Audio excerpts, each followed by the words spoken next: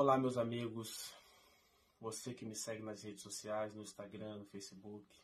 Você que me acompanha, que gosta de mim, da minha família, que tem um apreço por mim.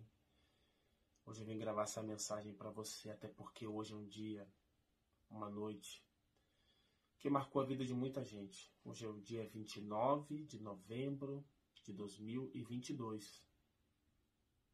Há seis anos atrás, a minha vida era outra. Há seis anos atrás, tudo mudava. Há seis anos atrás, eu vivi uma experiência que eu não desejo para ninguém viver. Há seis anos atrás, vidas foram ceifadas, sonhos foram encerrados. Há seis anos atrás, o mundo